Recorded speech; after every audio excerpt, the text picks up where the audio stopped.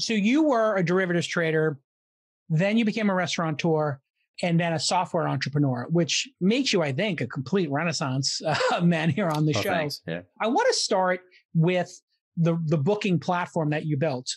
You were in the restaurant business. I understand that OpenTable is absolutely hated by restaurateurs, second only to Yelp in terms of content. That is probably accurate. Yes, you've done your research. That is about Yeah. accurate. Yes. And, and you and I both grew up in the restaurant business. We're both Greeks, if people couldn't tell from the last names.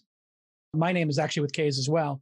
But you grew up, either your dad or your uncles owned restaurants. I Uh, if you grew up in Chicago, man, you know Greeks, Greek Yeah. cousins. There's always Greek cousins that have a restaurant somewhere or whatnot. I definitely did not really grow up in the business, Hmm. but I was always it was like one it's Yeah. one Kevin Bacon away from, you know. I Yeah. literally grew up in it. You didn't work in the in the restaurants of your I uncles. or never did. Um, Yeah. The first day I worked in a restaurant was the day we opened Alinea, which is pretty crazy. And y- you came to the restaurant business uh, with the knowledge that every single person you talked to said this is the worst business. Do not go into the restaurant business. And then you made the top restaurant in the country. Tell us how that came about. Yeah, it was. I mean, that's for sure true. And I, I spent over a decade as a derivatives trader. Loved it. Started investing in the internet as an angel investor in 1996, and had just a diversity of interests. I studied philosophy in college, and when well, I grew up in a home where my mom, wonderful woman, great mom, terrible cook, and so Wait, so I- your dad I- was the Greek in the family? Correct. Yes. Yeah. So he cooked. And- he had like my dad. He had the cooking Uh, duties. Yeah, but he was busy too, Ah. right? And he also didn't want to offend my mom and all that. So there's a lot of complexity there. But Yeah, just wow. suffice it to say, I grew up, um, I grew up a very picky eater. Hmm. And it wasn't until I met my my wife and, and her family, who are ethnically Latvian, who are very Euro and love good wine, good food, trying new things, trying new cuisines, trying ethnic cuisines, all that. And it was genuinely at 22 years old, it was terrifying for me. And that's the irony of this. It's often the people who I think didn't have exposure to something that become the most passionate about it, whatever it Mm. may be, because you're exposed to it at a point where you're like, how did I miss this for the first 22 years Yes. of my life? And so I started doing what I always do, which is I started reading books, MFK, you know, Fisher and, and Ruth Reichl and all these kinds of uh, great writers. There was a renaissance of food writing in the early Mm. 2000s. And I started Anthony reading all of that. Kitchen Kitchen yeah, Confidential. Michael Ruhlman, all those, Yeah. all those folks, and we we traveled a bit and we we ate, and I got more and more passionate about it. And this is all my wife will always laugh because this is all her doing, um, and and I get somehow the credit for it, but it really was her doing in that it exposed me to all these wonderful experiences. And then um, we went one day to lunch at Trio Restaurant in Evanston, and Grant Achatz had taken over there and um, it was just different. It was better than almost anywhere we'd been in the world, Hmm. and we'd been very fortunate to eat all over the place. It was ten minutes from our, our home. It was in suburban Evanston, which made no sense.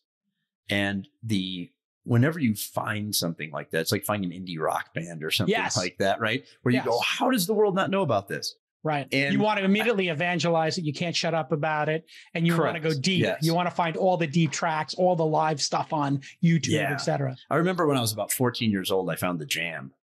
And Yeah. the cool thing then is that, like, you know, some guys got all the vinyl and you go, oh my God, they've put out 18 albums and you dig through. And this is kind of what I did with, with Grant and, and with the food.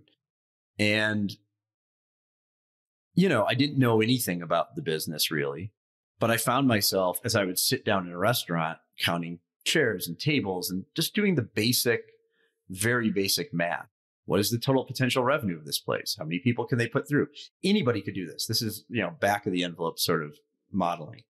And eventually, um, you know, after going there for about a year, I, I asked him, you know, what are your goals? What, what do you want to be doing? Hmm. Um, and I had backed some, like yourself, I had backed some small angel startups. And that's often the first question I ask when I do. Um, and Is what? What's the goal here? What, where do you see what- it in yeah, 10 what's years? not not what's not even what's the goal for the business. What are your goals? Mm. Like, what do you want with your life? Um, because this may or may not be a good fit for you, even though you're the one creating it. And um, you know, he was very, very singularly focused on I grew up in a diner. When I was four years old, I started cooking eggs. I worked for Charlie Trotter for eight weeks. I hated Oh, the wow. environment there. He quit. Trotter told him, You'll never amount to anything. He got in a car, drove to the French Laundry. Thomas Keller was his mentor. But then he had this experience where he he just worked for three days at El Bulli when Ferran Adria was there in Spain, in Roses, Spain, and saw like, oh my God, like I can take these traditional techniques and apply them in ways that are emotionally resonant with people in a totally different way. The rules get cast aside. And so as a young chef, this was very liberating for him. And, and we found him at that moment. Like he was 26, 27 years old. He was given control of his first kitchen. And I just said to him one night, you know, what do you want to be doing? And it'll probably not be here, I'm guessing, in the long run. And if you ever want to do something, I'd like to help you build a restaurant for yourself. And he asked me what kind of restaurant I wanted to build. And I said, How should I know? I've never built a restaurant before. and that was it. Like literally two weeks later, we we started planning for what became Alinea. And a year to the date of that conversation, we opened, which is cra- genuinely crazy. Everyone along the way, to answer your question in a long verbose way, everybody I knew said, "Okay, yeah, you made a bit of money. Don't flush it down the toilet with a restaurant."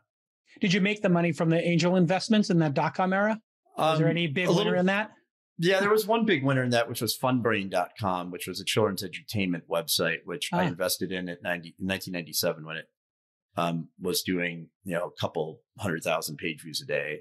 And our options trader, uh, our options software guys that I found and hired, um, hi, Mike Sirks and Paul Hudson. Um, Yeah. They, uh, they um, made this, this game up, math baseball for his wife's fourth grade um, class. And all of a sudden dial ups, you know, this is dial up modem days from around the country started going it, going to the site, even though they weren't advertising it outside of her classroom. Wow.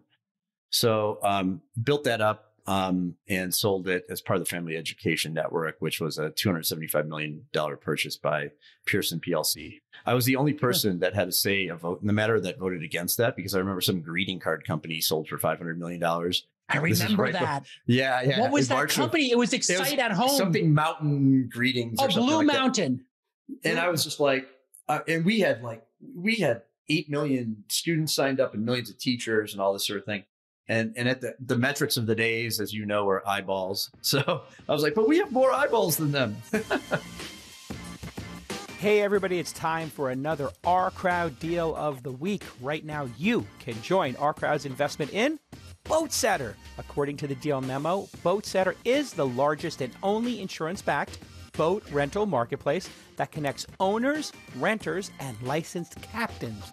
Boatsetter's revenue grew 100% year over year, and more growth could be coming with 12 million private boat owners in the U.S., according to their deal memo. Speaking of growth, do you wish you were in early on some of the best performing IPOs of 2019 and 2020? Well, our crowd investors were. And now you can join them. With our crowd accredited investors can invest directly, easily, and most importantly, early, like I do as an angel investor. Our crowd investors have benefited from our crowd companies IPOing like Beyond Meat and Lemonade, or being bought by companies like Intel, Nike, Microsoft, Oracle, and Uber. So here's your call to action. Our crowd's accredited investors have already invested over $1 billion in growing tech companies. If you're an accredited investor, you can join our crowd for free. O-U-R-C-R-O-W-D dot com slash twist and review the current deals. There is no payment involved until you invest. That's ourcrowd.com slash twist to sign up for free.